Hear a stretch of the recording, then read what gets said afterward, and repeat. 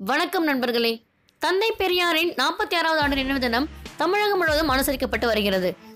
அரசியல் கட்சி தலைவர்கள் பெரியாரின் சிலைக்கு மாலை அணிவித்து மரியாதை செலுத்தி வருகின்றனர். அதே போல அவர் நினைவு தினத்தை முன்னிட்டு அவரது பேச்சுக்கள் எழுத்துக்கள் கருத்துக்கள் அதிக அளவில் சோஷியல் மீடியாவில் வளம் வந்து கொண்டிருக்கின்றன.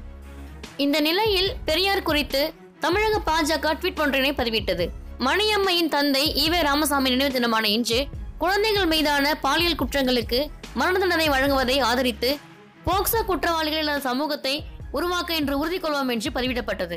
பாஜகவின் அதிகாரப்பூர்வ ட்விட்டர் பக்கத்திலேயே இந்த பதிவு போடப்படவும் பெரும் எதிர்ப்புகள் உடனடியாக கிளம்பியது. கடுமையான அதிர்ச்சியையும் மக்கள் மத்தியில் உருவாக்கியது. இதனால் உடனடியாக அந்த பதிவினை பாஜக நீக்கிவிட்டது. ஆனால் டிஎன் பிஜேபி ஐடிவிங் என்ற பெயரில் இயங்கும் ட்விட்டர் பக்கத்தில் பதிவிடப்பட்டிருந்த அதே பதிவை திரும்பவும் தனது பக்கத்தில் ரீட்வீட் செய்திருக்கிறது. அதிகாரப்பூர்வ பக்கத்தில் இந்த சர்ச்சை ட்வீட்டை பாஜக நீக்கினாலும் தமிழக தலைவர்கள் கொந்தளித்து விட்டார்கள்.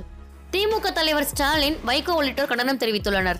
அந்த பயம் இருக்கட்டும் என்று ஸ்டாலின் ஒரு பக்கமும் பாஜக பகிரங்கமாக மன்னிப்பு கேட்க வேண்டும் என்று வைகோ ஒரு பக்கமும் அதிரடியாக தெரிவித்துள்ளனர்.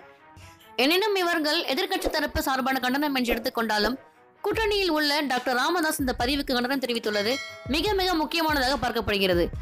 அதில் தந்தை பெரியார் நினைவு நாளில் அவர் குறித்து தமிழக பாரதிய ஜனதா கட்சியும் அதன் ஐடி பிரிவும் ட்விட்டரில் பதிவிட்டுள்ள கருத்து அருவருக்கத்தக்கது. இது அவர்களின் காமாலை கண்களை காட்டுகிறது. இந்த செயல் கடுமையாக கண்டிக்கத்தக்கது என்று தெரிவித்துள்ளார் டாக்டர் ராமதாஸ். உண்மையிலேயே டாக்டர் ராமதாஸின் இந்த பதிவு பெரும் பாராட்டை பெற்று வருகிறது. கூட்டணியில் இருந்தும் கூட பெரியாரை விட்டுக் கொடுக்காத ராமதாஸின் இந்த மனப்பான்மை வரவேற்பை அள்ளி தந்து கொண்டிருக்கிறது.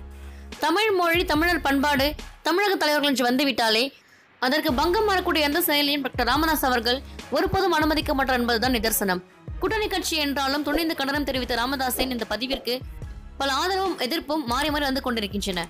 உங்கள் கூட்டணியை சேர்ந்த நபர்கள் தான் இப்படி ஒரு பதிவை பதிவிட்டிருக்கிறார்கள் என்றும் உங்கள் கேரக்டரை புரிஞ்சுக்க முடியலை என்றும் ட்விட்டர் வாசிகள் பதிவு போட்டு வருகின்றனர். மேலும் இது போன்ற செய்திகளுக்கு நம்ம வெயிட்டட் சேனலை லைக் பண்ணுங்க ஷேர் பண்ணுங்க மறக்காம சப்ஸ்கிரைப் பண்ணுங்க. நன்றி.